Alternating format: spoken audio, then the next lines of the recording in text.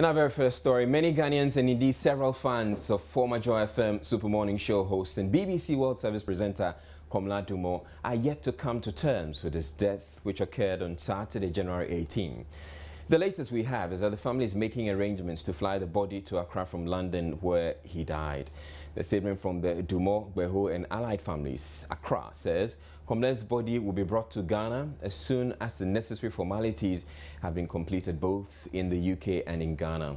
Once the family takes a decision on when the body will, will arrive, arrangements associated with receiving the body will be duly communicated. There is a website, www.komla.com dumor.com where information from the family will be available.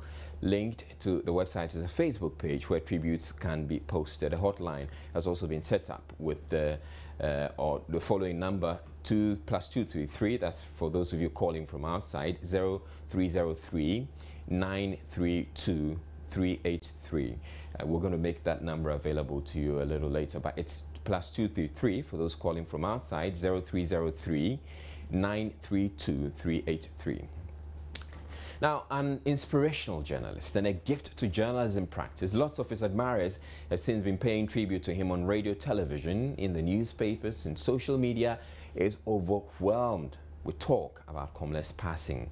Here in Accra, books of condolence have been opened here at Joy FM and the press center at the Ghana Journalists Association. Another has been opened at the family residence at Haatso where we caught up with some of the well-wishers and sympathizers. Eto Namse starts off our special bulletin on Komla Dumor.